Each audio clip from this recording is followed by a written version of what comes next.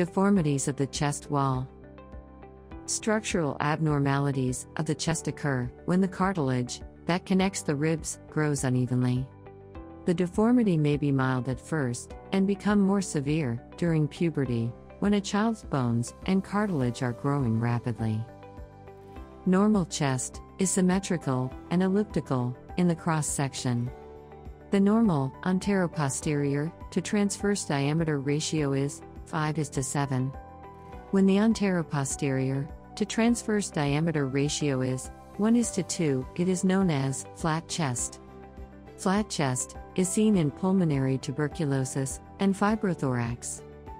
When the ratio of the anteroposterior to transverse diameter is 1 is to 1, the chest resembles the shape of a barrel. Barrel chest is seen in physiological states, like infancy, and old age, and in pathological states like emphysema. Harrison's sulcus occurs due to the indrawing of ribs to form symmetrical horizontal grooves above the costal margin along the line of attachment of diaphragm due to hyperinflation of the lungs and repeated strong contraction of the diaphragm. It is associated with chronic respiratory disease in childhood like childhood asthma, rickets, and blocked nasopharynx due to adenoid enlargement. Scorbutic rosary is the sharp angulation of the ribs with or without beading or rosary formation arising as a result of backward displacement or pushing in of the sternum. It is seen in vitamin C deficiency. Rickety rosary is a bead like enlargement of costochondral junction seen in rickets. Nodularity at the costochondral junctions are present.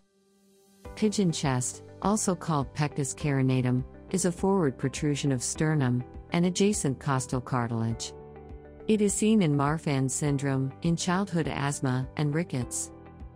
Pectus excavatum, also called funnel chest or cobbler's chest, is the exaggeration of the normal hollowness over the lower end of the sternum. It is a developmental defect. The apex beat shifts further to the left, and the ventilatory capacity of the lung is restricted. It is seen in Marfan syndrome. Spinal deformities. Kyphosis is an abnormal anteroposterior curvature of the spine with forward concavity and dorsal prominence. The thoracic spine usually exhibits a slight smooth kyphosis, which increases in the elderly, and especially in osteoporosis. Scoliosis is the lateral bending of the vertebral column that will lead to asymmetry of the chest. And if severe, may significantly restrict lung movement.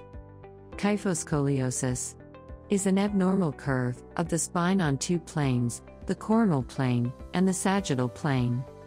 It reduces the ventilatory capacity of the lung and increases the work of breathing. Ankylosing spondylitis is an inflammatory arthritis affecting the spine and large joints. There is a diminished volume of the lung and the capacity of the chest, and thereby, the capacity of the lung to expand is restricted. Straight back syndrome is a thoracic deformity characterized by loss of the normal upper thoracic spinal kyphosis. This deformity leads to a reduced anteroposterior diameter of the chest, causing a compression or pancaking of the heart and great vessels. To get more such high yield medical content, don't forget to subscribe. Basidia Med. The easiest and fastest way to take advanced clinical history.